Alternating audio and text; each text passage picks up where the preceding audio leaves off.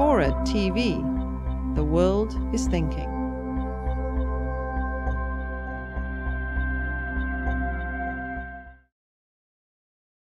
Why is it uniquely the United States that is so challenged to accept what I, as a scientist and my scientific community, accept as scientific fact? And so that we can actually get on with the business of embracing solutions, which is actually a business that can provide economic growth and economic return and prevent a lot of economic loss. Exactly. Well, I'm so glad that you, you emphasize that it really is only in the United States that this is happening. Uh, and it's not even happening in most of the United States. The deniers have a large megaphone and it's called Fox News and the rest of the right wing media machine.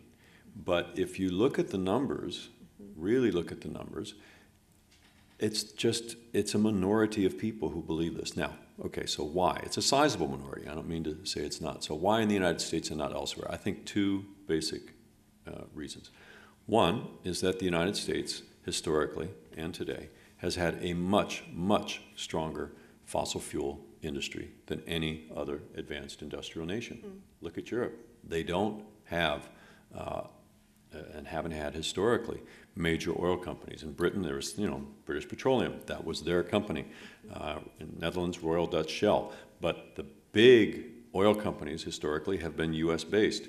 And most of their money originally came from here in the United States, drilling in Texas and Oklahoma and here in California. And they became, the oil industry in particular, came, became the single richest business enterprise in human history. Let me emphasize that the single richest business enterprise ever.